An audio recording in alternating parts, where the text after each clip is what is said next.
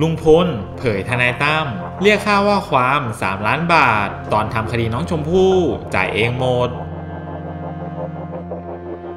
หลังจากที่ก่อนหน้านี้นายพัทรพงศ์สุภักษร หรือทนายอันที่จังหวัดบุรีรัมย์ได้นำหลักฐานซึ่งอ้างว่าเป็นสลิปจากแฟนคลับของลุงพลที่อยู่ต่างประเทศ ได้โอนเงินมาช่วยเหลือเรื่องคดีลุงพลจำนวน 5 0 0แสนบาท เข้าบัญชีมูลนิธิทีมงานทนายประชาชน ของนายสิทธาเบี้ยบังเกิด หรือว่าทนายตั้มเนื่องจากทางทนายตั้มได้ออกมาพูดถึงคดีลุงพลว่า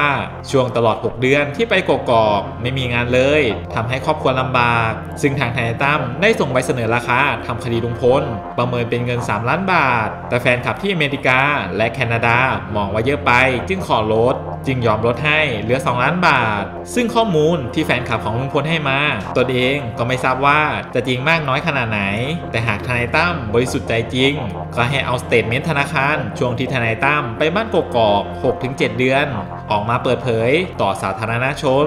ด้านทนายตั้มสิทธาได้ออกมายืนยันว่าทนายอันได้โชว์สลิปปลอม พร้อมยืนยันว่าเรื่องนี้ไร้สาระมาก ตนเองเคยเอาบัญชีมูลนิธิกางไปรอบหนึ่งแล้ว ตอนนั้นบอกโอนมา 10 ล้าน เป็นเรื่องแต่งขึ้น ตนเคยเอาสมุดบัญชีแจงไปรอบหนึ่งแล้ว ตอนมีดราม่าครั้งก่อน สลิปก็ปลอมมา เงินในบัญชีมูลนิธิยังมีไม่เกิน 2 5 0 0 0เลย ผมไม่ใช่คนพูดกลับไปกลับมา อะไรจริงก็บอกจริงอันไหนข่าวปลอมก็บอกปลอม ล่าสุดในรายการเคลียร์ชัดๆ ที่มีบุ๋มปนัดดาเป็นพิธีกร ได้ให้สัมภาษณ์นายชัยพลวิภา หรือว่าลุงพลแห่งบ้านกกอกซึ่งมีช่วงหนึ่งที่ทางลุงพลถูกถามว่าทนายตั้มได้รับเงินจาก FC ลุงพล 5 0 0แสนจริงหรือไม่ โดยลุงพลได้ตอบคำถามว่า ผมไม่รู้ว่าได้รับเงินหรือไม่ อยากให้ผู้ใหญ่ใจดี FC เอาสลิปมาโชว์ แต่ในระหว่างที่ทนายตั้มมาดูแลคดีให้ตน ผมมีการดูแลค่าที่พัก ค่าอาหารการกิน แต่ยังไม่มีการตกลง ราคาเรื่องค่าวิชาชีพ ส่วนสาเหตุตุที่ทนายตั้มถอนตัวออกไปนั้น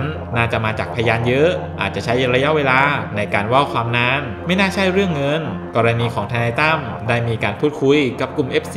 ที่จะต้องโอนค่าวิชาชีพค่าทนาย มีการพูดคุยกันจริง ตกลงกันจริง ค่าทนายความ 3 ล้านบาท แต่สุดท้ายตกลงกันที่ 2 ล้าน ซึ่งมีมูลความจริง เท่าที่ทราบมีแค่นี้ แต่จะมีการโอนเท่าไหร่นั้นไม่ทราบเลย